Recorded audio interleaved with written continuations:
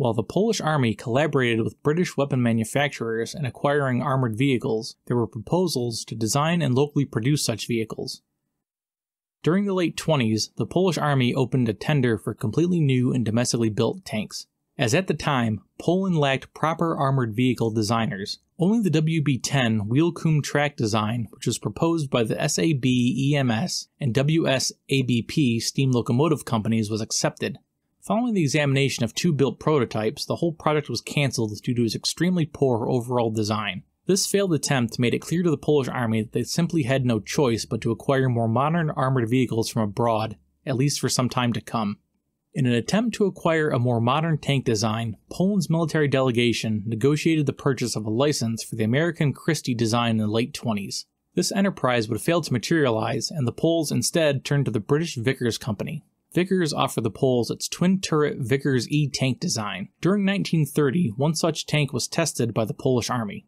Although there were some issues with the engine overheating, the Poles were, in essence, satisfied with its performance and placed an order for 38 such tanks and a license for production. In Polish service, these were marked as the Vickers E Type A. Delivery of these tanks took some time, with the last vehicle reaching Poland in 1934. During its service within the Polish army, some attempts were made to solve its overheating problems and increase its firepower.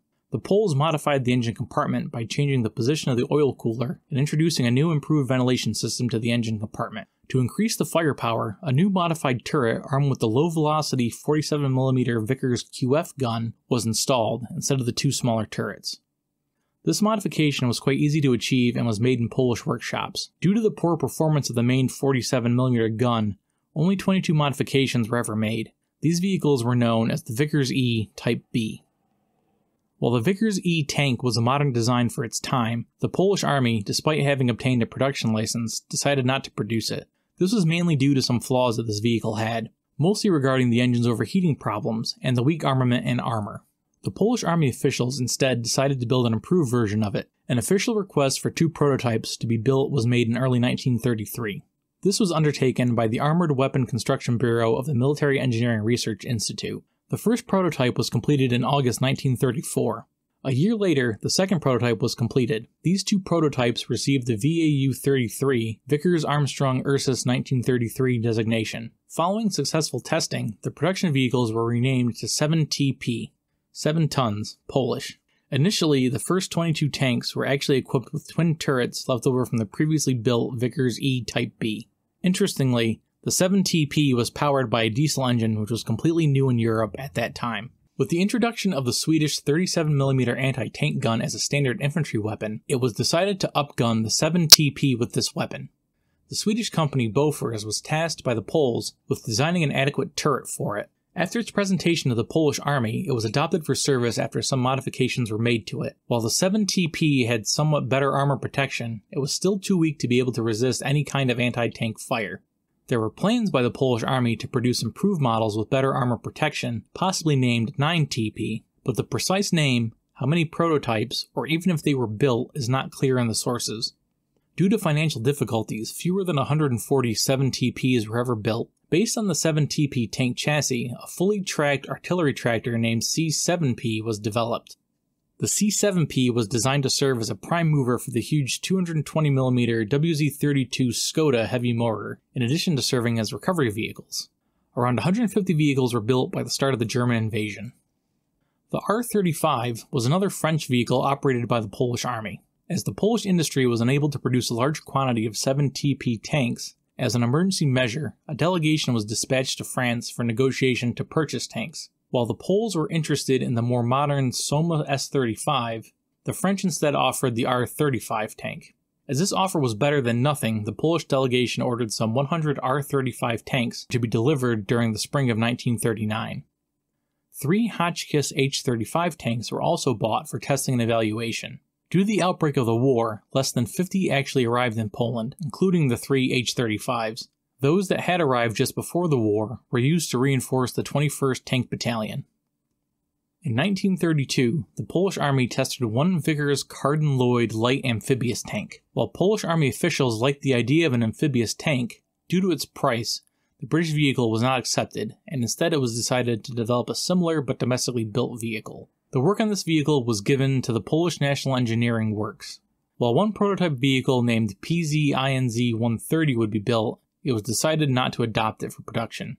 Another project quite similar to the vehicle named PZINZ 140, 4TP, was also developed. While it was designed as a replacement of the older tankettes, it too was never adopted for service. During 1936, PZINZ was working on a new tractor vehicle known as PZINZ 160. In 1937, a proposal was made by PZINZ engineer Edward Habich for a 37mm gun armed anti tank vehicle, based on the PZINZ 160 tractor. This project, together with the tractor version, was never adopted, mostly due to its price. The Polish army showed interest in the unusual Christie tank, designed by John Walter Christie, which could be driven on standard tracks or on its own wheels. While nothing would come of this, the Poles tried to build their own vehicles using some elements of the Christie tank suspension, with many improvements. The prototype, named 10TP, was completed in 1938 and was used for testing up to May 1939 when it was presented to the Polish Army. Due to the Polish Army giving up on the idea of using dual drive tanks, this vehicle would not be adopted for service.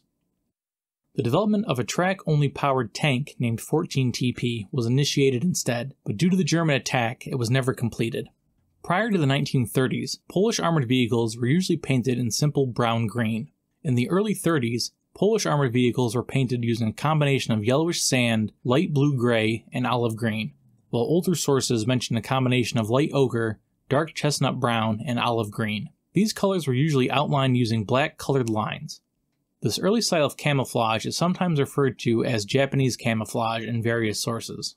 In 1936, a new type of camouflage began to be applied. It consisted of light gray sand, olive green, and dark chestnut brown. The French vehicles, R35 and H39, retained their original French camouflage, with experimental vehicles and some older armored cars being painted in brown green. During the early 30s, Polish armored vehicles were equipped with removable panels, usually placed to the side or rear, with different geometric signs, circles, triangles, and squares, painted white. The platoon commander vehicle was marked additionally with a vertical red line or a red circle, while the vehicle of the second in command was marked with a red triangle or square. Polish armored vehicles rarely used any unit insignia. The sources are also quite vague on the matter. According to S.J. Zaloga in Blitzkrieg Armored Camouflage and Marking, 1939 to 1940, in the case of the 1st Light Tank Battalion, equipped with the 7TP, they used a yellow or white bison in a circle, while the 2nd Battalion used a cougar painted in white. During peacetime training exercises, the 7TP tanks received vertical white lines, one, two, or three, depending on the company, painted on the hull sides, and one horizontally to mark the company's commander's vehicle. Some other armored units employed their own insignia, but this was rare and not encouraged and even forbidden by the Polish army. Instead of using tanks and other armored vehicles in large groups, these would instead be divided into smaller units and then attached to infantry or cavalry divisions. This would prove to be a flawed concept. Fragmentation of the armored vehicles would cause problems, such as lack of coordination with the friendly units they were attached to, and most importantly, diminishing their offensive strength. The Polish armored forces were grouped into two different organizational systems depending on whether the country was at war or at peace. In times of peace, the tanks, tankettes, and armored cars were distributed into 11 armored battalions. While at first glance these battalions may seem to be organized as combat unit formations, this was not the case. This was done mainly for administrative purposes, in order to organize training, make maintenance easier, etc. In case of war, these units were to be disbanded, reorganized, and then attached to designated divisions to act as fire or as reconnaissance support element. This overall process was too complicated and it depended on a number of factors which all had to fit together to be successful. The most obvious flaw was a lack of communication in these units with the units they were to be attached to, due to a lack of joint training and cooperation. Another issue was the problem of getting the armored vehicles to their designated units, which, in case of war, could be difficult to conduct successfully if, for example, communications broke down or the enemy did extensive damage to infrastructure and logistics. Regarding the operational use of the armored vehicles themselves, these two had wartime and peacetime organization and distribution plans. During peacetime, the armored vehicles were divided into three different groups or categories. The first category, A, contained the most important vehicles which were to be kept in good condition and were not to be used for training. The second category, B, contained vehicles that were to be used for crew training, but also allocated to the front lines in case of war. The last category, C, contained used vehicles that were largely obsolete or worn out. During wartime, a few different organizational combat units were to be formed, which included three light independent battalions equipped with 7 TPs and R 35s, some 11 armored divisions that were equipped with 13 tankettes and 8 WZ 34, and one with 8 WZ 29 armored cars, which were attached to cavalry brigades, and 18 independent and normal reconnaissance tank companies equipped with 13 tankettes. There were also five light tank companies, of which two were equipped with 17 Vickers E tanks, and the remaining three with 15 obsolete FT tanks. During the war, in an attempt to stop the advancing Germans and Soviets, mixed units with nearly any available equipment would be formed in desperate defensive attempts. On 1st of September 1939, the huge German army crossed the border with Poland, and thus the Second World War began. Anticipating a possible German attack, the Polish army deployed its divisions in a large defensive line across the German Polish border. Basically, the plan was to hold this line long enough and to inflict as many losses to the enemy as possible in order to give time to the Western Allies to attack the enemy from behind. Unfortunately for the Poles, their allies were far from ready or even willing to fight a new world war. Additionally, this defensive deployment led to the overstretching of the country's forces, which resulted in the fact that, in case of an enemy breakthrough, the Polish army would be unable to efficiently contain it. Despite the valiant resistance, the Polish army simply could not stop the German advance. On 17th of September, the eastern borders of Poland were attacked by the Soviets, who had signed a non-aggression pact with the Germans in August 1939, which further complicated the already hopeless situation for the Polish army. With the fall of the capital, Warsaw, on 27th of September, the war was practically over, while some isolated Polish units resisted the enemy up to the 6th of October. The Polish armored vehicles generally performed inefficiently against German armor, the tankettes armed with machine guns were practically useless against enemy tanks, while the better equipped 7TP could, thanks to its powerful gun, destroy any German armored vehicle, there were too few of them and their armor was too weak. Of course, there were some examples where Polish armor outperformed their German counterparts. A lone TKS armed with a 20mm gun managed to destroy 13 German tanks on the 18th and 19th of September near Kampinos. During the defense of Petrochow, the Polish 2nd Tank Battalion, equipped with a 7TP, claimed to have destroyed over 17 German tanks and 14 armored cars. Another example was the case where an older WZ 29 armored car managed to destroy two Panzer I tanks. These were exceptions rather than the rule, and most Polish armored vehicles were either destroyed, captured, or abandoned. Some managed to escape to Romania and Hungary, where they would be taken over by these nations' armies. The Polish army tried to sell some of its armored equipment abroad during the 30s. The Kingdom of Yugoslavia tested one TK3 in February 1933, but due to unsatisfactory results, it was not adopted. In May 1939, the Yugoslav Royal Army wanted to acquire some 127 TP tanks, including around 40 tractor versions. Due to the collapse of Poland in September, no vehicle ever reached Yugoslavia. The only actual buyer of Polish armored vehicles was Estonia, which in 1935 obtained six TKS tankettes for their army. These would later be confiscated during the Soviet occupation. With the collapse of the Polish army, the leftover and abandoned equipment was taken over by the German and Soviet armies. After the Polish campaign, the German Waffenamt Ordnance Department reported that some 111 Polish armored vehicles were captured. These were mainly used for training, while some tankettes were usually operated by the Luftwaffe for airport security, anti partisan operations, or as towing tractors. Some 7 TPs were used by German Panzer divisions, like the 1st and 4th Panzer Division, for example. Some sources mention that the 7 TPs were used in the French campaign in 1940, but it's unclear if it's true. In German hands, the 7 TP was known as Panzerkampfwagen 7 TPP or as Panzerkampfwagen Type 7 TP. While the majority of Polish armored vehicles were captured by the Germans, the Soviets also managed to acquire a smaller number of them. How many is not clear, but some may have been used against the Germans during Operation Barbarossa in 1941. Hungary also came into the possession of a small number of Polish armored vehicles. These were remnants of the defeated Polish army that was trying to escape the Germans by crossing the Hungarian border in late September 1939. This way, some 15 to 20 TK3 TKS tankettes, 3 R 35 tanks, and at least one C 2P artillery tractor were obtained. In 1942, the Hungarians supplied the Croats with 10 TK3 TKS tankettes, including at least one rare TKF, which is now preserved in the Belgrade Military Museum. The Germans may have also supplied some Polish tankettes to the Croats as well. Some Polish armored vehicles also crossed the Romanian border, where they were taken over by the Romanian army. While Poland was occupied, nearly 100,000 of its soldiers managed to avoid capture by escaping to Hungary, Romania, and the Baltic states.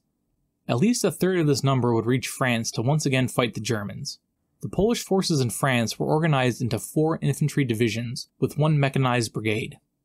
The mechanized brigade was commanded by Colonel Stanislaw Maczek, a prominent commander during the Battle for Poland. This unit was mostly equipped with R 35 and R 39 French tanks. Unfortunately for the Poles, they were once again defeated, together with the Western Allies. Nearly 20,000 Poles managed to escape to Britain during the fall of France. Elements of these units would later be used to form the 1st Polish Armored Division under Maczek. This unit was equipped with a number of armored vehicles which were supplied by British and American allies. The 1st Polish Armored Division would see extensive action against the German forces on the Western Front during 1944 and 1945, using different types of Shermans, M10 tank hunters, Valentine tanks, etc. Another Polish unit that was equipped with Allied armored vehicles was the 2nd Armored Brigade, which in 1944 had 160 Sherman tanks. This unit fought mainly in Italy during the war. In occupied Poland, there was a resistance movement that fought the Germans. During the Warsaw Uprising, the Polish resistance fighters managed to capture a small number of German armored vehicles, including a few Panthers, a Jagdpanzer 38T, and even at least one armored half track. The Poles even managed to build an armored vehicle based on a truck chassis named Kubus. The Poles also fought the Germans under the Soviet banner during the war. For example, the 1st Polish Army, formed during 1944, was equipped with Soviet armored vehicles such as the T 3485, Su 85, etc. This unit fought many hard battles which ended with the capture of Berlin in May 1945. That's all for this video. Make sure to follow our website, we'll be releasing new articles on the regular. You can follow us on Facebook, Twitter, Instagram, or Reddit, and if you use Discord, there's a link to our community server in the description. Also, likes, comments, and subscriptions on YouTube are greatly appreciated. If you would like to help us continue to develop and expand, also consider donating on Patreon or PayPal. All of the funds will be used to help us enhance and design new articles and features for you. Until next time, keep us in your sights.